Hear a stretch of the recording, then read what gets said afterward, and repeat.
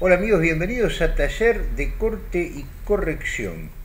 Estamos trabajando dándole los toques finales. Me parece que hoy, hoy Gustavo Durán se lleva su parche del taller de corte y corrección, porque estamos terminando un nuevo cuento, ¿eh? de los cuentos tremendos que escribe él. Apenas me estaba adaptando a mi nuevo hogar. Es un trabajador, este, pinta de ingeniero, tiene un profesional que está como personal itinerante, está viviendo en un pueblo nuevo en Misiones, ¿no?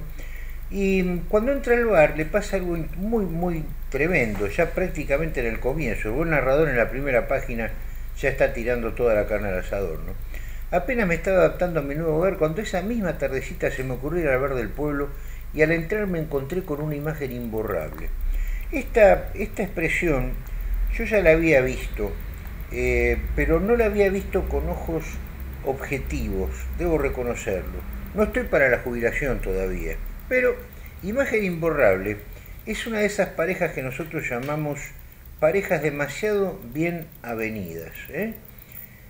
Parejas de sustantivo más adjetivo, que acá, googleándola, la encontramos cerca de 30.900 resultados. No llega a ser un lugar común, no es algo que eh, pretenda ser este, eh, estético, artístico, sin llegar a serlo, ¿no? No es kitsch ni, ni nada, ni cache, ni, ni nada de eso, ni cursi, pero es una cosa que nos permite a nosotros apoyarnos en ella, y ese es el truco, ese es el secreto de, nuestro, de nuestra técnica, por qué funciona, porque nuestra imaginación pisa acá, entonces va a ver, ¿por qué imborrable? ¿En qué fue imborrable? Vamos a ver qué fue lo que vio, ¿no? Para que ustedes tengan idea de lo que hicimos.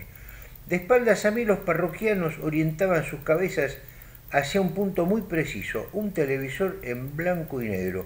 Nadie me llevó el apunte, parecían, estaban hipnotizados. ¿eh? Este, y cada uno en una mesa, ¿eh? cada uno en una mesa. Bueno, lo que hicimos fue esto.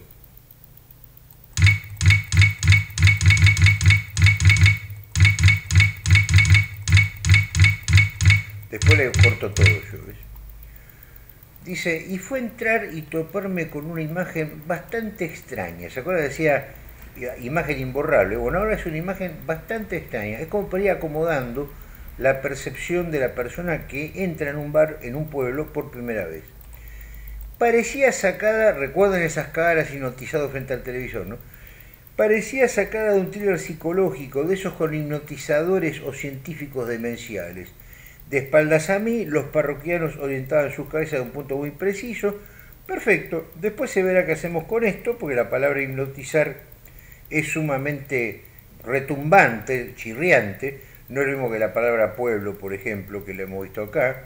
Tenemos pueblo por acá, la primera impresión al llegar al pueblo, la palabra pueblo ni se nota. Pero esta sí, y esta hay que trabajarla, pero después lo importante es que hasta ese momento corrijamos sin tener ninguna preocupación de lo que viene abajo, corrijamos lo que realmente conviene corregir.